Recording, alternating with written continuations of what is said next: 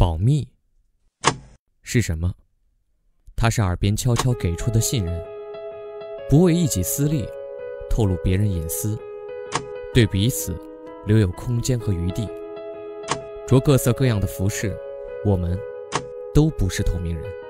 小小的动作看似不起眼，却使保密更加完整。随手保持的习惯，是在对信息的安全负责，一切。都在为群众挡去信息轰炸和骚扰，聚焦的眼睛不敢松懈，每一步都牵系着国家、经济和人民。闪躲的眼神，转移的话题，上锁的文件，沉默是我唯一的答案。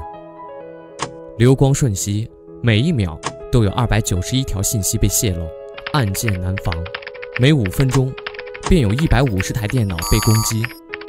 保密和幸福一样，渗透在那些微小却又重要的地方。每一个默默奉献的保密工作者，都处在平凡的岗位。那些敬业认真、坚持原则、守口如瓶、正一针一线的织起国家的安全大网，在为这个国家的美好保驾护航，保守国家秘密。守护家国安宁。